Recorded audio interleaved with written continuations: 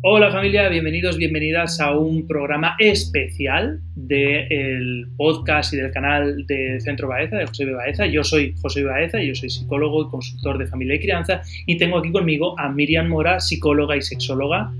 Hola, buenas noches. Y eh, estamos en plena crisis del coronavirus, encerrados en casa, eh, haciendo un, un, un, tema, ¿no? Hemos tra queríamos traer un tema un poco para, desde el punto de vista de la psicología, pues, eh, qué puede llegar a pasar en un momento así de encierro, cómo sobrellevarlo y cómo, sobre todo, sobrevivir a él, ¿no? Algo así. Sí, la verdad es que mm, lo de cómo, cómo sobrellevarlo es muy interesante, ¿eh? porque puede pasar de todo. Yo cuando has dicho eso, por la cabeza se me han pasado muchísimas cosas. La apocalipsis. La apocalipsis, porque la verdad es que no estamos acostumbrados a esto, esto es algo muy nuevo, la verdad. Claro, para los comunes de los mortales, ¿vale? Esto es algo bastante nuevo, ¿no? El tema este de que digan, no, pues ahora no puedes, no puedes salir a la calle. Esto lo conocemos a lo mejor por películas o porque yo que sé, incluso tengamos algún familiar pues que a, lo mejor ha pasado una temporada en la cárcel, o por ejemplo, nosotros que estamos muy cerca de Santa Pola, que tiene puerto pesquero, los marineros están muy acostumbrados a hacer travesías de muchos meses sin salir del barco, ¿no? Y entonces este tipo de, de eventos, este tipo de situaciones eh, no son anómalas, ¿no? Y mucho más si, por ejemplo, contamos con niños y niñas, ¿no? ¿Qué hacemos con los hijos? Pues nada, malabares. Dejarlos en casita con nosotros y ahora hablaremos un poco de, de cómo manejar todas estas dinámicas y, y, de, y de, de, cómo mantener la calma y sobre todo la cordura, la, la mente firme, ¿no? Antes hablaba con una compañera de trabajo que ha trabajado todo el día en el hospital y le preguntaba qué tal, digo, ha sido un día muy duro y tal, y me, y me decía, bueno, más que duro por el trabajo en sí, porque van un poco a mínimos, es por el ambiente que se vive, ¿no? El ambiente que hay en el hospital donde ella trabaja y un poco la sensación de incertidumbre, de decir, esto que parecía que era algo sin importancia, algo que estaba pasando muy lejos de aquí, ahora de repente está llegando aquí y hay unas órdenes, unos mandatos y parece que esto es grave, ¿no? Algo que hace una semana, hoy estamos a miércoles por la noche, miércoles 18, miércoles 18 por la noche, hace una semana era impensable. Ninguno nos imaginábamos que íbamos a estar una semana después encerrados las 24 horas del día, casi casi. Yo me acuerdo cuando el viernes o el martes pasado me dijiste, no, igual comentan en el colegio que seguramente para después del puente haya unos 15 días, que pero se paren las clases. Se ha incluso. precipitado todo -huh. muchísimo, afortunadamente, porque yo creo que es positivo que que se tomen estas medidas para evitar que se, que se, expanda todo este virus. Exacto, al final el objetivo de todo esto es que el ritmo de contagios descienda y que los servicios de salud sean capaces de ir absorbiendo uh -huh. todas las personas que eh, puedan enfermar de forma más o menos grave, porque si de repente todo el pico de, de contagios graves es durante la primera semana los servicios de salud colapsan y empieza a tocar elegir a quién salvo y a quién dejo morir. Es que yo creo que es, es, así, de, es así de serio, ¿no? Es un poco este tema. Y claro, nos encontramos en un, en, un entorno, y aquí es cuando entramos Miriam y yo desde el punto de vista de la, de la psicología, a hablar pues de que en un momento dado empiezan a crecer los niveles de ansiedad a niveles por encima de lo normal y, claro, nos empezamos a asustar mucho. ¿Pero qué sería más o menos la ansiedad? ¿A qué llamamos ansiedad? ¿Ansiedad es estrés? ¿Qué es ansiedad? La ansiedad es una respuesta emocional eh, muy intensa. Normalmente es una sensación de, de desbordamiento, ¿no? de, de descontrol. Mm, por así decirlo, la situación puede contigo, sientes miedo, es una sensación de amenaza, ¿no? Sí, yo suelo decir que miedo y ansiedad, miedo y ansiedad son primos hermanos, es básicamente mm. lo mismo con distinto nombre. Entonces, bueno, en estos momentos, si ya de normal tenemos un poco que, que luchar con la ansiedad diaria, ahora en estos momentos lo normal, como se suele decir, es mm. tener más ansiedad de lo más habitual, ansiedad. sobre todo ahora estos primeros días, ¿no? Yo creo que ahora esto va como, como, como por fases, como el duelo, ¿no? Sí. Ahora, en los primeros días eh, de encierro, de confinamiento, eh, hay un bombardeo informativo, que luego, luego hablaremos un poco de cómo manejar ese bombardeo de, información que nos viene por muchos canales.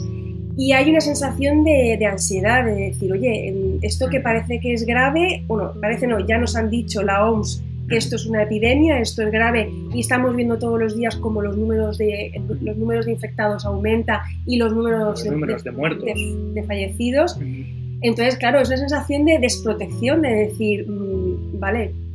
Sí, es, es, fácil entrar en pánico. Es fácil entrar en pánico. Entonces, eh, bueno, lo que, lo que hay que intentar transmitir es tranquilidad en el sentido de que es normal que estemos todos nerviosos, que estemos todos ansiosos. Yo creo que es una respuesta natural. Todo el mundo tiene ansiedad.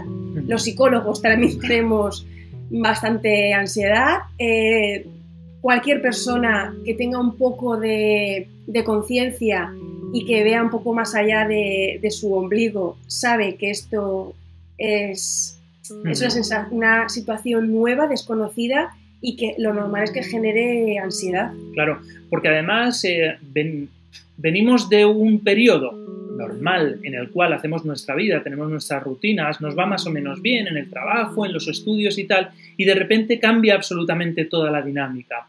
Y aquí es cuando puede aparecer, como muy bien has dicho Miriam, el tema del trastorno de adaptación. De repente cambia toda la situación y tenemos que hacer como una adaptación a una nueva situación y eso no siempre se lleva bien. Decía un psiquiatra eh, de aquí, de la Unidad de Salud Mental de Elche, no sé si era Chema o, Carlos, no recuerdo, uno de los psiquiatras de aquí, decía que eh, hasta el 90% de las consultas eh, de, de, psicología y psiquiatría en la unidad son trastornos de ansiedad, es el no me gusta mi vida, no me, no me consigo hacer a ella, ¿no?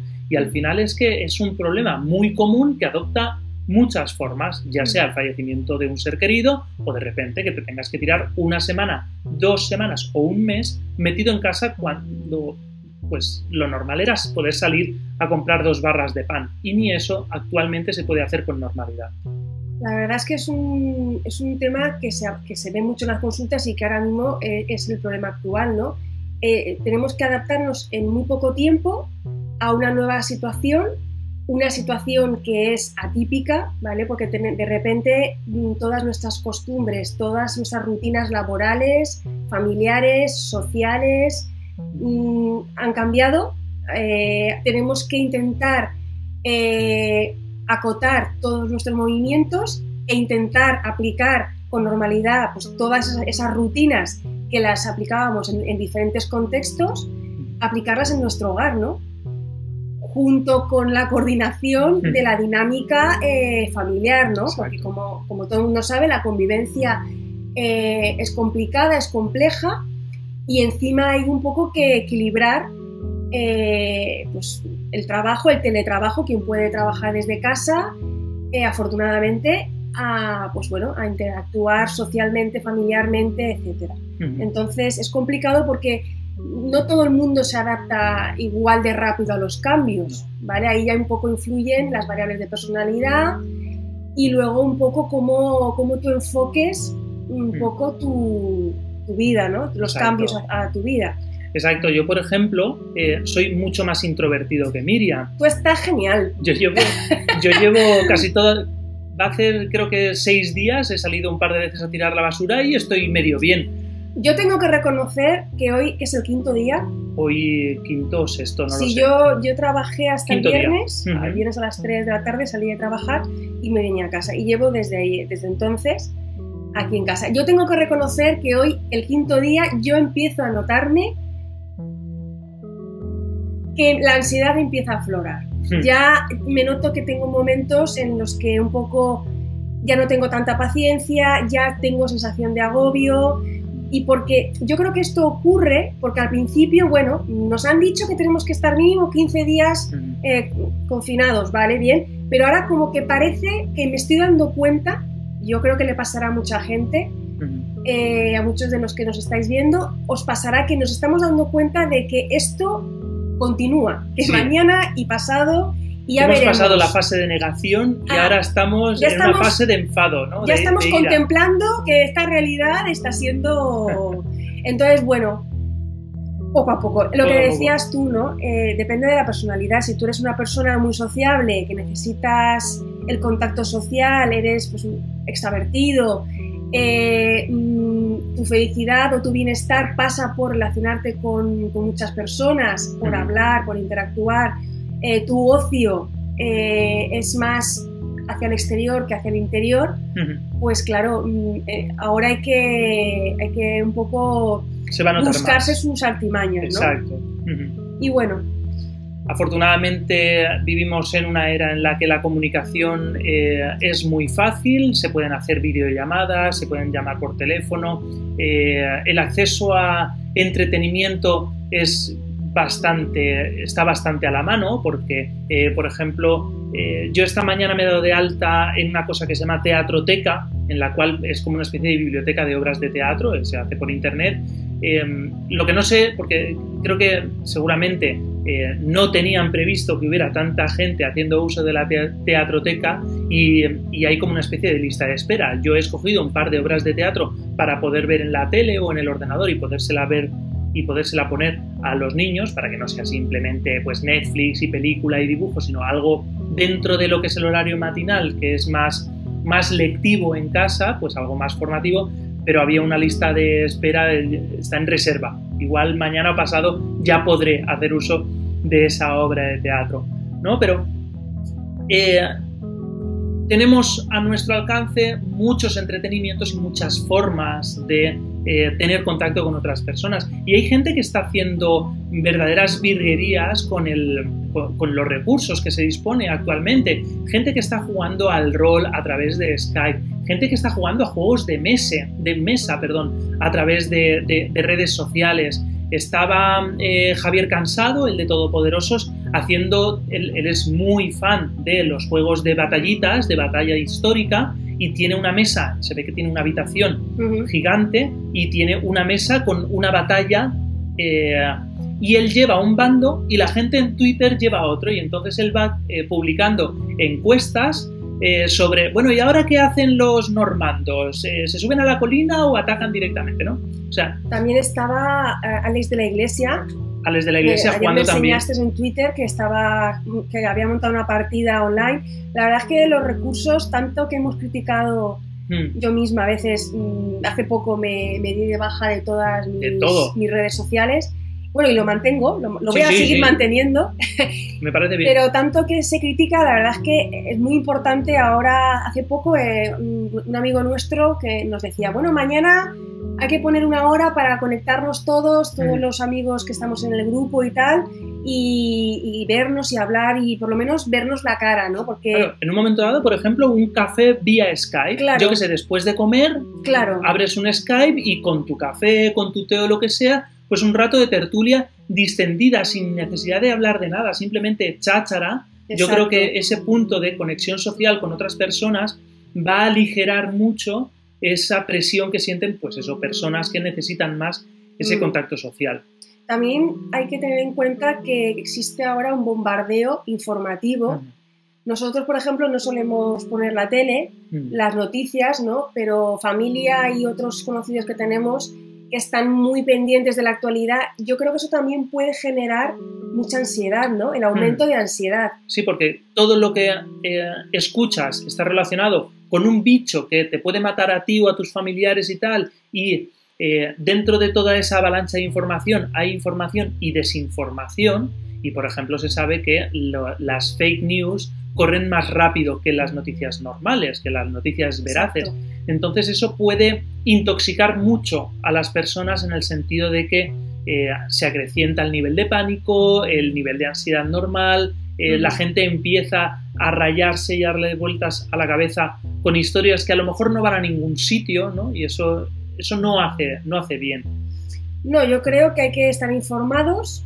También es importante estar informados Mm. para estar concienciados de la situación y recordarnos a, a nosotros mismos el para qué estamos haciendo ahora mismo todo lo que estamos haciendo, Mm. el sentido que tiene, pero por otro lado hay que también un poco limitar Si quieres pasamos ahora a un poco a hablar del tema del manejo, ¿no? de, de, cómo podemos afrontar estos, esta cuarentena, que esperemos que no se alargue. Y si tiene que alargarse, pues nada, nos habituaremos a, a vivir como hobbits. Exactamente, exactamente. Eh, algo muy importante, yo, yo creo que muchos de los que nos pueden estar escuchando tendrán niños, tendrán familia. Como nosotros. Como nosotros, que tenemos dos niños pequeños. Y claro, para ellos también ha supuesto un... Sí, es, es, un, es un, trago muy grande, es, una, es un cambio muy grande porque los niños hasta pasada cierta edad no desarrollan unas estructuras mentales que sean capaces de autorregular su nivel de energía.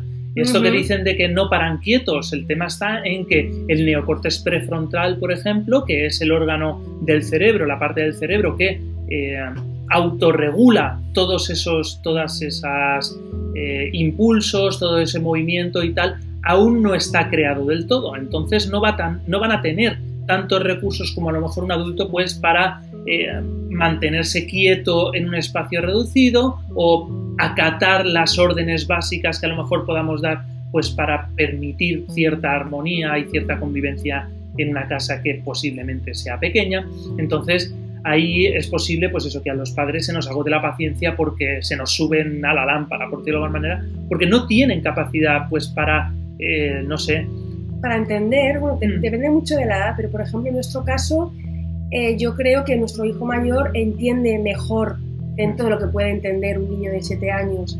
Entiende mejor la situación, sabe que es el coronavirus, se lo hemos explicado tanto a él como, como al pequeño.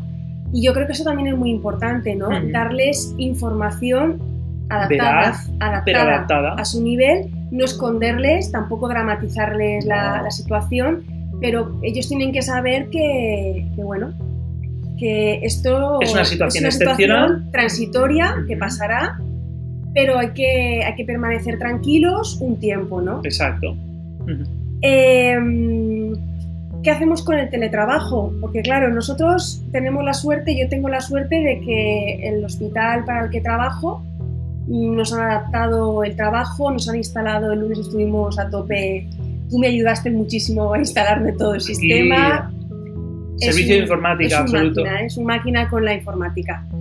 Eh, y yo afortunadamente me, me, puedo gestionar muy bien el trabajo, hago las mismas horas, me encierro en una habitación y afortunadamente estamos aquí, tú estás aquí para quite y los niños entienden, ¿no? Los nuestros el mayor, sobre todo el pequeño, sí que es cierto que es muy Hay veces que entra a la habitación y dónde está la mamá. Y me pregunta, ¿has terminado? No, me quedan cuatro horas. Pero bueno, en la medida de las posibilidades hay que intentar un poco entrar, tomarse sus descansos y estar con, con los niños, ¿no? Y yo creo que también es importante el tema de mantener horarios y hábitos normales. Es decir, por el hecho de estar en casa no significa que podamos estar todo el día en pijama.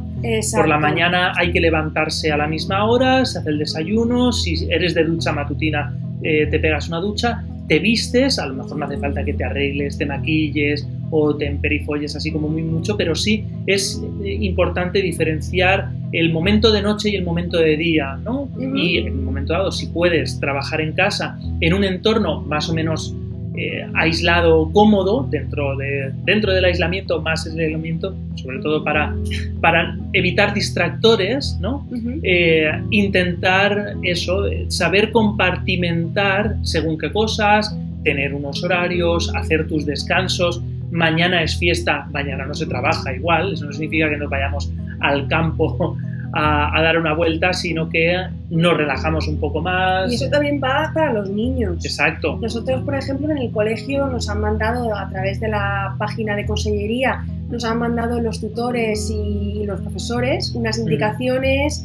Afortunadamente, gracias a las tecnologías, nos, nos mandan materiales. los maestros están portando increíble. Sí, y eso es importante un poco también en casa cumplir un horario, siempre flexible, ¿vale? Porque yo tampoco soy partidaria de decir, si por la mañana están cinco horas en el colegio, aquí cinco horas trabajando, ahora toca castellano, una hora entera. yo pienso que la situación no se puede equiparar, hay que ser un poco flexibles. En, el colegio están en, interacción con otros 24 niños, hacen más cosas aparte de, del trabajo, lo que es el trabajo formal. Entonces yo creo que, bajo mi punto de vista, una hora, dos horas de trabajo, de deberes por la mañana, cada día una cosa y luego por la tarde también un poco reforzar con lectura y tal, pero que es importante que los nenes tengan un horario. Exacto, que no, es, que no son vacaciones, ¿no? Tanto que se ha dicho que no estamos de vacaciones, sino eh, al final los hábitos y las rutinas dan mucha seguridad. Esa seguridad que hemos perdido porque se nos ha obligado a estar de una forma muy determinada, pues intentar ganarla de otra, ¿no?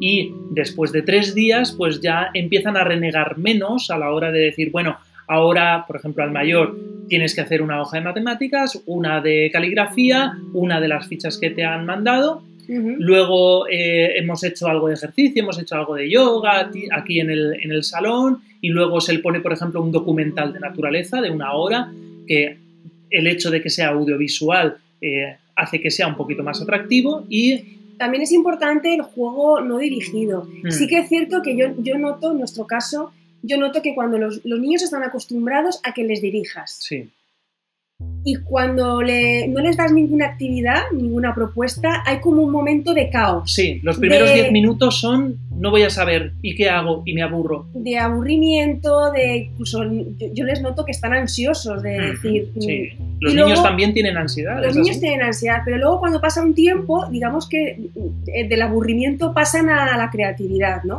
Y esta mañana, por ejemplo, con las, con las maderitas que tenemos...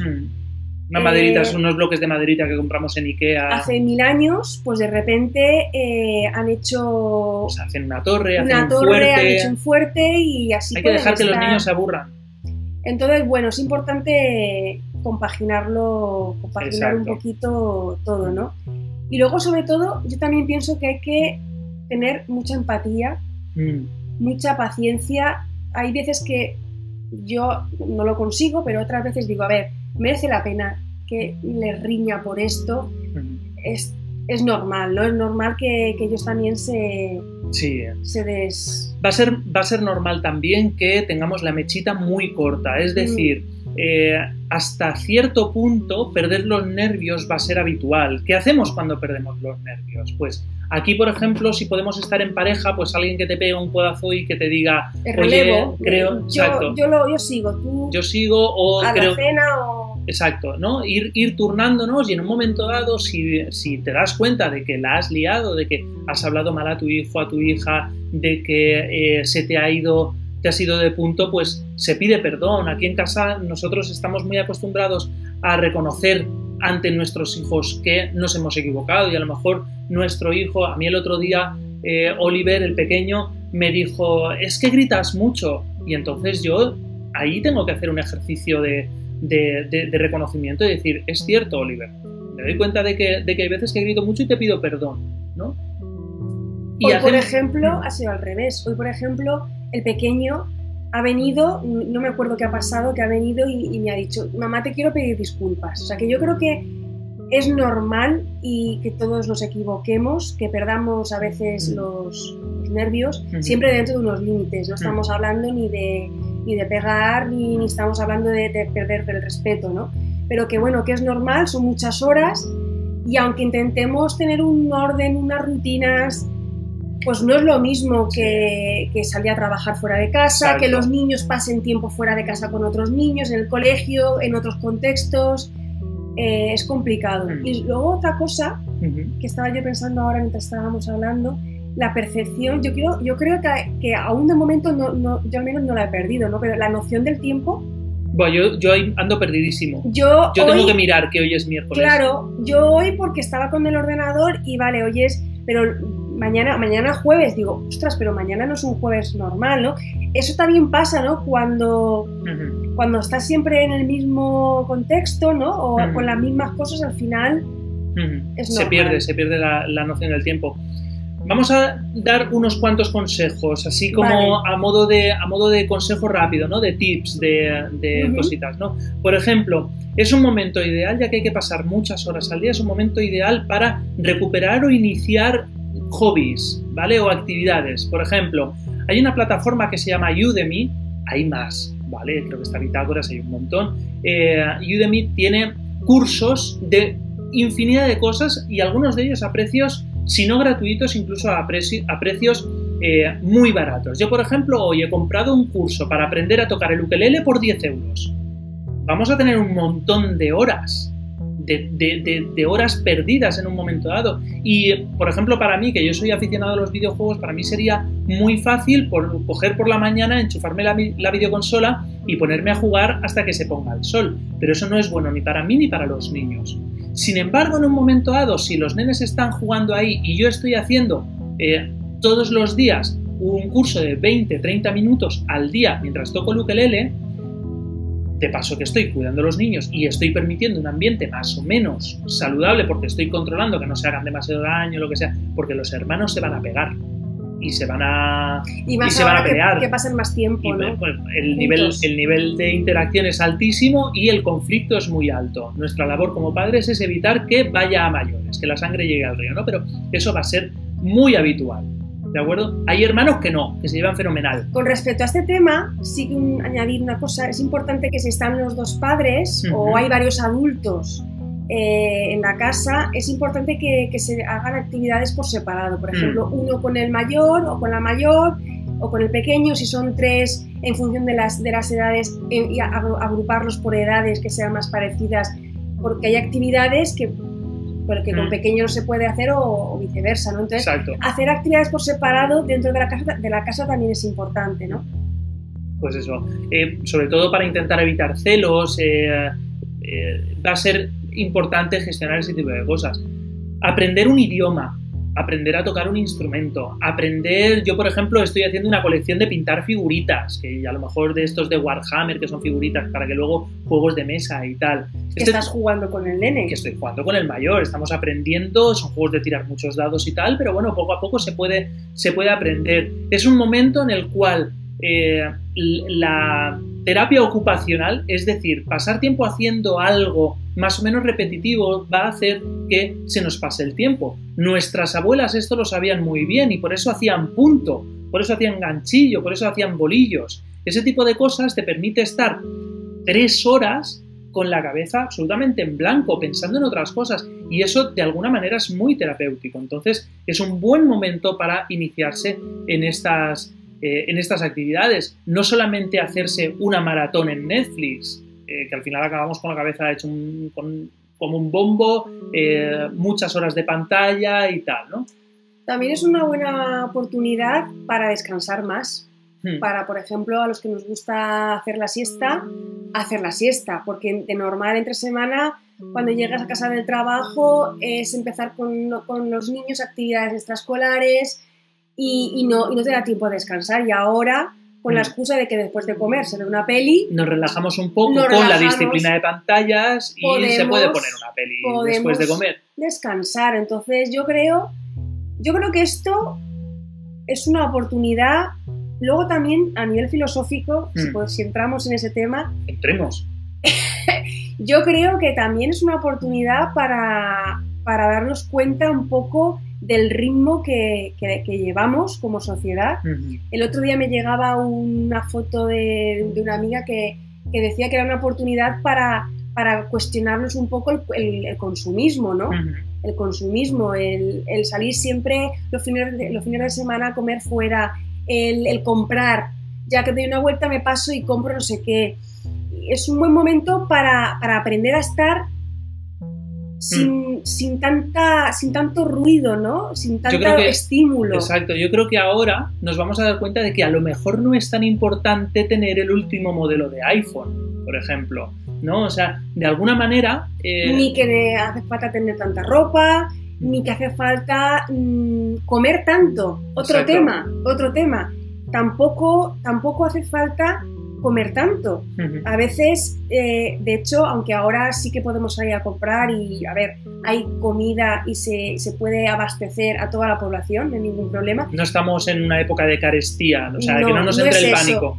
Pero sí que es una buena oportunidad para darnos cuenta de, bueno, voy a comer en función de mis necesidades del hambre que tenga, no porque sea la hora de comer, sino porque, porque, ¿no? Sí. Eh, por cierto, ahora que hemos hablado de la carestía, ¿sabes por qué la gente le entró el rollo aquel con, el papel higiénico? No. Pues porque se, fue mucha gente a la vez a los supermercados y resulta que el papel higiénico es muy voluminoso. Entonces, a poco que cinco personas cojan papel higiénico, de repente eh, el, lineal se vacía.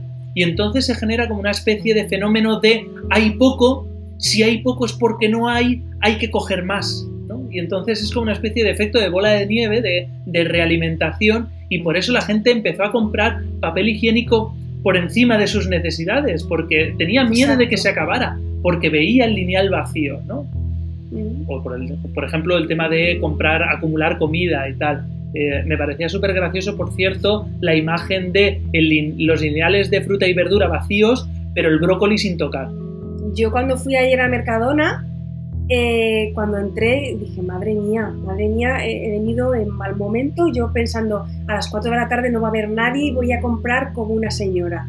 Y claro, cuando entras a Mercadona, lo primero que hay a la derecha es la, es la carne y todo vacío. Y digo, madre mía, madre mía, voy a venirme a casa con, con nada. Mm. Y cuando llegué al fondo, a la sección de fruta y verduras, había mucha fruta y verdura. Y dije, comer fruta y verdura, chicos. ¿Qué está pasando aquí? Aquí la gente ha arrasado con, con los lácteos, eh. quitando los yogures naturales, todo lo demás y la mantequilla, mm. la, que, la que compramos, la de sin sal, todo lo demás estaba vacío, la carne... También es cierto que creo que Mercadona ha restringido la cantidad de productos que pone a la venta. Creo que lo ha restringido a unos 500, 500 tipos de productos, que tienen muchos más, ¿no? Para para que sea más fácil reponer y tal.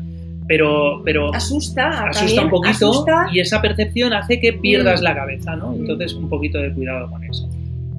Y bueno, luego también hay que ponerle mucho humor. Mucho Yo creo que los memes que la gente está circulando. A mí me parece graciosísimo. Yo hay que ponerle un altar mm. a, la gente que está, está haciendo esos memes porque porque te arranca una sonrisa y te hace mucho más llevadero. yo me moría de la risa con el tipo que bajó a tirar la basura disfrazado de dinosaurio.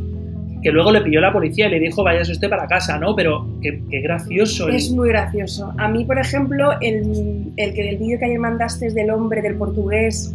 Haciendo como una especie de. para poder caminar. Con aceite y tal, para simular una, una cinta de estas.